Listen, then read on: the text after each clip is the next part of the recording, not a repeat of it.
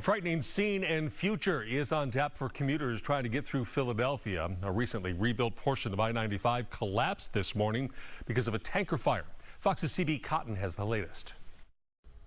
Monday morning's commute will come with new headaches for some drivers in the Northeast as people are told to stay away from an interstate collapse and find alternate routes. This happening on one of the country's oldest and most traveled interstates. Officials telling our Fox 29 affiliate a tanker truck caught fire under I-95 in Northeast Philadelphia near Cottman Avenue, causing the northbound overpass to collapse. Now all north and southbound lanes are closed in this area for about three to four miles. Emergency dispatchers were reportedly notified just before 6.30 this morning. Firefighters arriving to the aftermath to assess the damage with portions of the northbound lanes reduced to rubble. The fire was under control around an hour later at 7.30 a.m.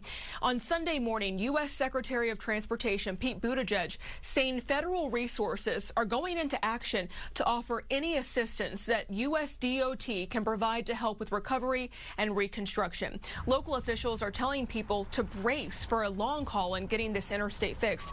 As first responders learn more about the scope of the damage, they're pointing a finger at the initial truck fire for creating this messy situation. There's a lot of heat, uh, bent, bent steel, a lot of heat, probably very, very hot. Um, uh, don't know, uh, we, we, we did get reports of heavy black smoke when when I, when I got here it was a heavy black smoke and fire. So it was a, a very very intense heat.